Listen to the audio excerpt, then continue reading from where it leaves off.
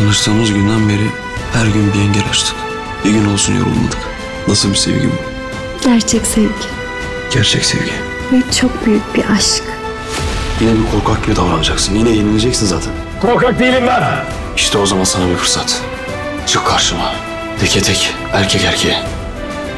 Yarın bu iş bitecek. Baran gibi Mertçe savaşmayacak. Artık müsamaha yok. Hani dinlenecektin? Dinleniyorum işte. Sana bakıyorum.